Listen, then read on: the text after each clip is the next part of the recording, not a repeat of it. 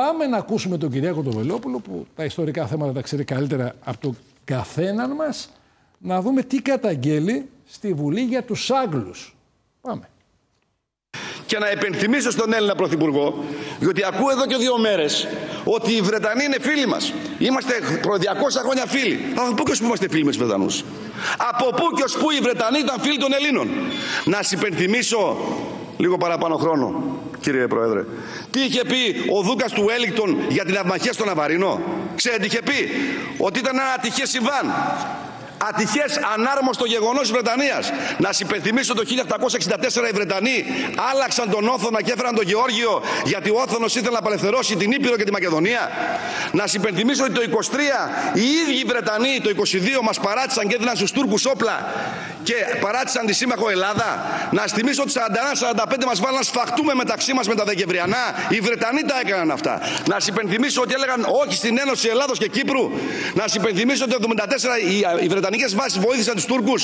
Τι να σας πρωτοπώ. Και μου βγαίνει η κυβέρνηση και λέει απρέπεια του Σούνακ, οι Βρετανοί είναι σύμμαχοι. Ποτέ η Βρετανία δεν ήταν σύμμαχος της Ελλάδος. Ποτέ μα ποτέ. Αυτή είναι η ικτρή πραγματικότητα. Γι' αυτό λέω βαδίστε σε Ελλάδος ράγες.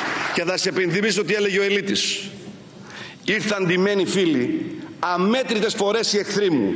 Το παμπάλαιο χώμα πατώντας και το χώμα δεν έδεσε ποτέ με τη φρέδρα τους.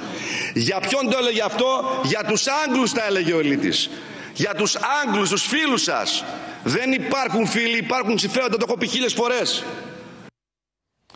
Αυτά για τους ανθέληνες τους Άγγλους. Και δεν αναφερόμαστε στο λαό, έτσι, αναφερόμαστε στους κυβερνώντες που τα δικά τους τα συμφέροντα προφανώς θεωρούν ότι δεν βρίσκονται στην Ελλάδα και μας έχουν συνέχεια στο ξύλο. Όλα τα χρόνια. Μιλάμε και πάει τώρα ο κ. Μητσοτάκης και τι λέει; Μιλάμε για την ελίτ, την ελίτ της Αγγλίας. Για την ελίτ μιλάμε. Όπως και την ελίτ της Γερμανίας κλπ. Και να υπενθυμίσω εδώ ότι όταν ε, θέλησε να πάει επάνω ε, το πλοίο το δικό μας να καταλάβει την Κωνσταντινούπολη, τότε το εμπόδισαν οι Άγγλοι. Έτσι. Όταν ήταν έξω από την, από την, στην Ανατολική Θράκη 7.000 στρατός τουρκικός μόνο και μπορούσαμε άνετα να τους νικήσουμε και να μπούμε στην Κωνσταντινούπολη, δεν μας το επέτρεψαν. Και ήταν, επενθυμίζω, Άγγλοι, Γάλλοι και Ιταλοί.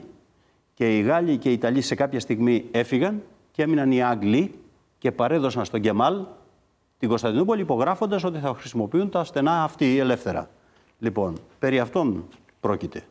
Είναι λοιπόν μια ιστορική πραγματικότητα την οποία ευτυχώς ε, στη Βουλή υπάρχει ο Κυριάκος Οβελόπουλος που του τη, θυμίζει, τη θυμίζει στους βουλευτές έτσι, και στον ελληνικό λαό μέσω της δύναμης που έχει η τηλεόραση και το κανάλι της Βουλής, έτσι, από το οποίο ε, πάρα πολλά έτσι, θέματα τα έχουμε πάρει ναι. από εκεί. Έτσι.